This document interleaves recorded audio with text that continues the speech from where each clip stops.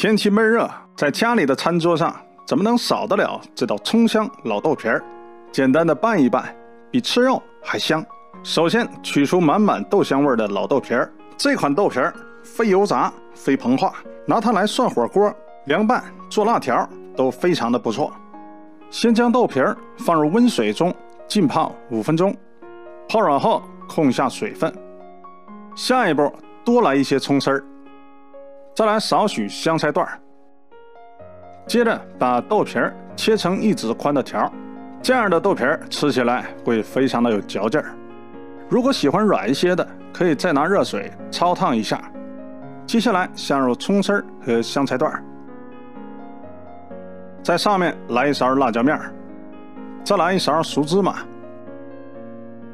一勺热油浇上去，激发出辣椒的香味儿。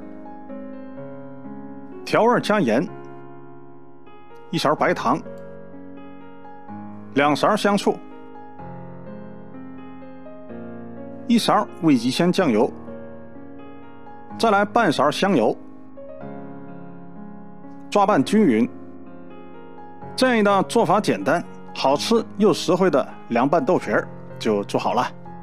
这道菜葱香浓郁，配合着豆皮的豆香味儿，真的是无敌了。